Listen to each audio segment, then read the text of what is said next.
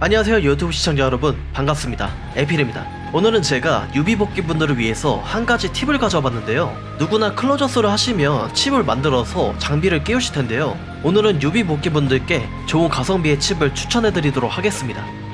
제가 추천해드릴 칩은 바로 파리왕 칩인데요. 칩 제작에 보시면 군단장 파리왕의 컬러 칩들을 제작할 수 있습니다 이 칩들의 성능은 기존 일반 컬러 칩들의 2.5T 수준의 성능을 가지고 있는데요 한마디로 컬러 칩의 2T보다 좋고 3T보다는 안 좋은 성능의 칩입니다. 그 중간에 위치한 칩이라고 생각하시면 되겠네요. 보통 리시버를 제외한 코어와 모듈 그리고 shield에 끼는데요. 일단 제작을 할 때 재료를 보시면 T1 칩과 무차정, 미지의 물체, 파리왕의 편린 등이 필요한데요. 칩 한 개당 미지의 물체 2000개가 들어서 이걸 언제 farming하냐 그러실 분들도 있을 겁니다. 근데 대부분 이프 던전의 재료방들을 매일 많이 도시잖아요. 거기서 미지의 물체를 드랍합니다. 이게 하다 보면 꽤 많이 쌓이게 되는데요. 충분히 파리왕 칩을 만들 분량이 됩니다.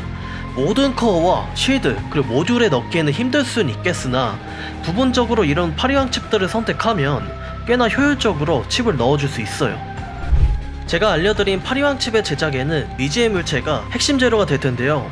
연못국장 이면에서 파리왕의 옥체 쪽에서 이프, 누구도 맞이하지 못한 세계나 오늘로부터 갈라져 나온 어제에서 미지의 물체가 드랍되고요. 옆에 파리왕의 옥체에서도 미지의 물체와 파리왕의 별린이 드랍됩니다. 이 던전들이 돈벌이 소단과 트리거 연료 얻기에도 좋으니까 매일 도시는 걸 추천드릴게요. 던전들의 난이도 자체는 정말 쉬운 편이니까 걱정하지 않으셔도 됩니다. 아 그리고 마지막 또 하나 블랙마켓에서 파리왕의 칩을 검색하면 가끔 메모리 보이긴 하는데요. 만약 빠르게 구입을 해서 만드시고 싶다면 구매하셔도 시간적으로는 이득일 것 같습니다. 이만 오늘 파리왕 칩 영상 마치도록 하겠습니다. 감사합니다.